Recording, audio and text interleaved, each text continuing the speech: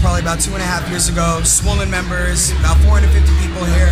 They told the crowd we wanted to break the floor. So when everybody started chanting, everybody was going nuts. They're trying to crack the floor. And I heard the floor crack. It's my favorite WOW Hall story. Swollen members getting the floor to crack. Literally. It's the best one.